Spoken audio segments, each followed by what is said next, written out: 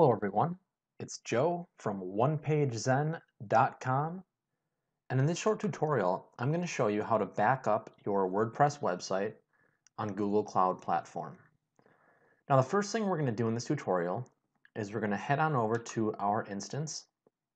So go to Compute Engine, then VM Instances, and we're going to click the Snapshots tab in the uh, left-hand side of the screen. And notice here that I already have four snapshots already configured for my WordPress website. It's likely that you don't have any yet. So what I'm going to do is I'm going to create a new snapshot. I'm going to click that button. And I'm going to name it Snapshot 5 just so I keep things in an orderly fashion. And the source disk is uh, the disk that's running my WordPress instance. And for encryption, I'm going to choose automatic. And then I'm going to click create.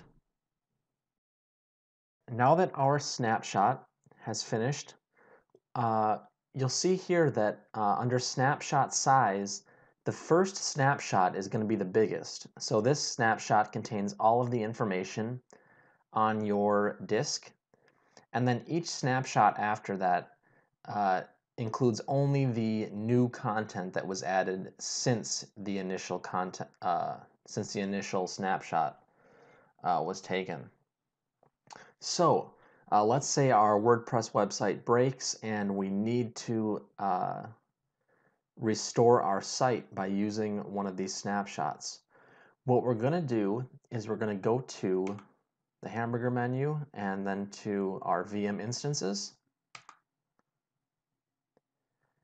And we are going to uh, click Create Instance. All right, and I'm going to do a uh, micro machine. Um, and then here where it says boot disk, I'm going to change that and I'm going to go, normally it defaults to uh, OS images. I'm going to go to snapshots here, and I'm going to uh, choose my latest snapshot as my boot disk. And I'm going to use the uh, standard persistent disk here of 10 gigabytes. Select that. And I'm going to um, choose allow full access to all cloud APIs for my access scopes. Now this is only a good idea if you are uh, running just a small uh, personal website on Google Cloud. Uh, you definitely wouldn't want to select this option if you're uh, running a cloud um, at the enterprise level. And then here in Firewall, we're going to enable both of these and we're going to click uh, Create. So here's our initial instance uh, right here.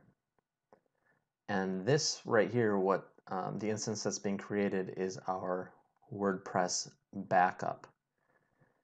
It's taking the information from the disk snapshot and is making a uh, exact copy of our original uh, WordPress installation.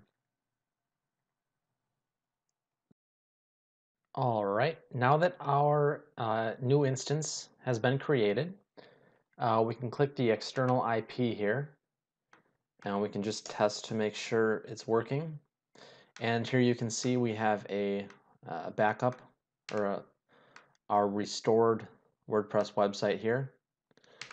Now you will likely have to do some uh, configuring with the um, new IP and your uh, Cloud DNS, but I'll leave that to you. Um, there's information about how to do that in some of my other tutorials.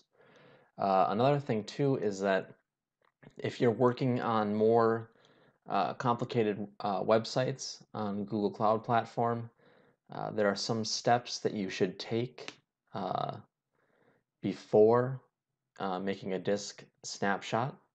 But since this is just for a very basic, uh, simple website without a lot of traffic, uh, I just went right ahead and took the disk snapshot.